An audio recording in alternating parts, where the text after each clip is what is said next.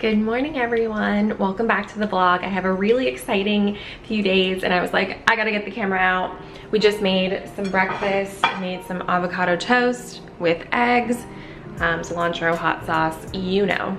And I'm just getting started on working. I'm about to take my hot girl walk soon. And for those of you that aren't on the hot girl walk game, just do it. Essentially, it's two to three miles or more. I usually do about 10,000 steps, so about five miles, um, about 40 minutes and it is just, it's great. Release your inner thoughts, listen to a podcast, get in the zone. I love taking it in the morning. Um, and then tonight I'm hitting the park with my friend Cher and we're gonna make some Aperol Spritz. I can't wait. It's gonna be a really, really beautiful day in New York City. Um, and I'm taking you along with me.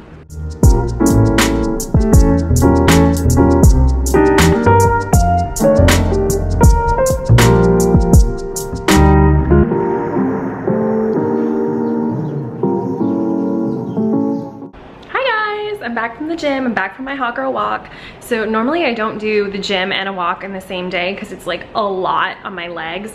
But we did today because I did a little bit of a shorter walk. It was great. I feel like I'm really seeing progress with my gym routine. I know I keep saying I need to film a fitness journey. I need to film a fitness journey and I just haven't. But I noticed today I was like, dang, my butt looks good. Okay, those hip thrusts coming in. So anyway, um, I just made a protein shake.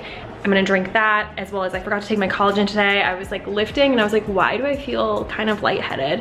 It's like, oh yeah, didn't have any protein today. So naturally I'm feeling a little bit off, but can have the protein shake and then I need to make lunch.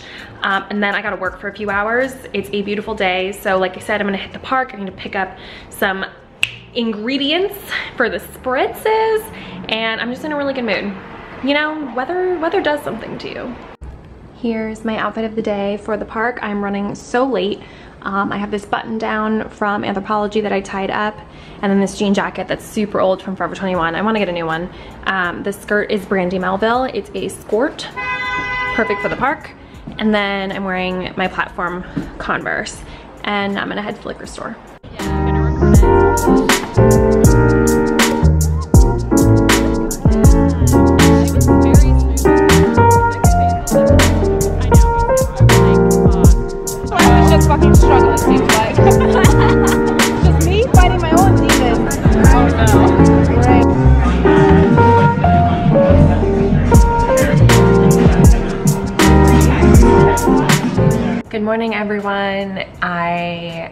awake, I'm alive. My skin looks a little weird. It's because my sunscreen, this fabulous La Roche-Posay sunscreen, um, has a white cast. So I'm gonna get used to it. I'm using it up. It actually um, burns my skin, especially after using a retinol. So I really don't wanna use that anymore.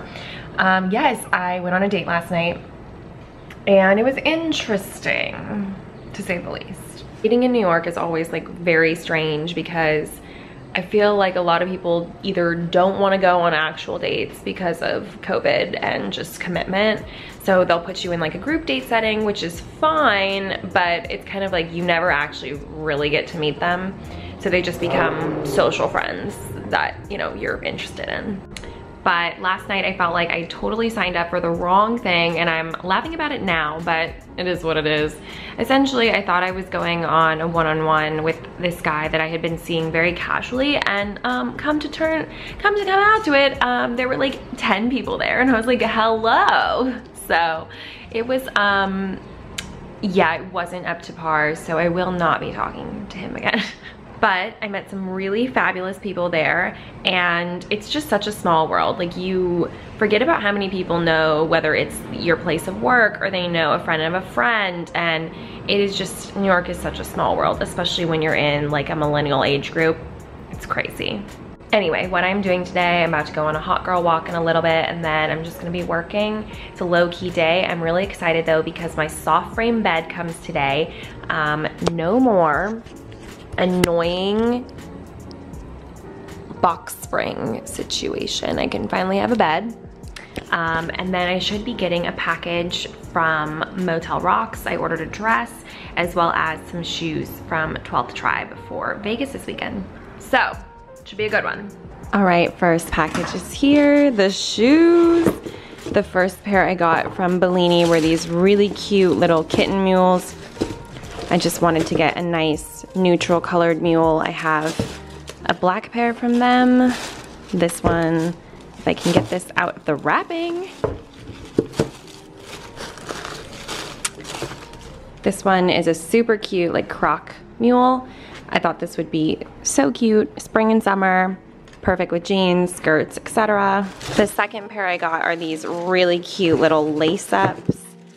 Um, also perfect for spring and summer. I feel like every summer you gotta get a white shoe. It gets absolutely destroyed, but it's worth it.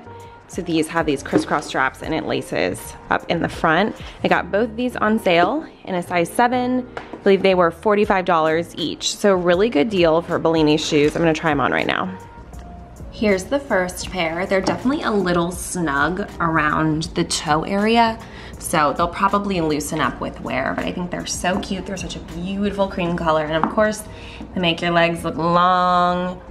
All right, here's the other sandals. These are just to die for. They're so cute.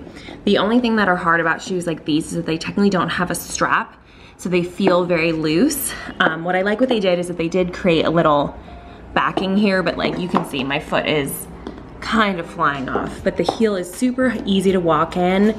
They're gonna be so great with dresses, with skirts.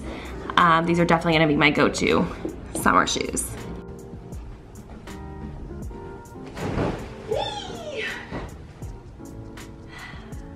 Big day, you guys. My soft frame bed is here. I'm so excited.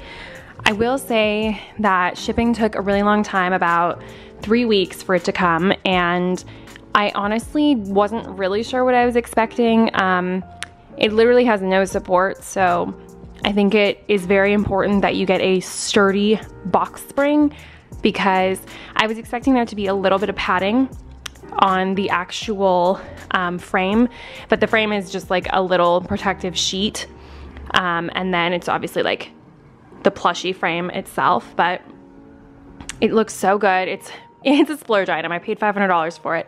So I think next time I would probably just get a standard bed frame only because it's more supportive and I, I don't hate the box spring, but I've always had um, a bed frame of sorts, you know, like wooden slates and a headboard. Um, and I got this for a really expensive price. So hopefully it's worth it. Um, but I, I do love it. I love the way it looks. It perfectly matches with the aesthetic of my apartment. It definitely makes my bed a lot bigger with it, but I like that because I felt like it was a little weirdly proportioned before. So now we've got that and I promise I will do an apartment tour very soon.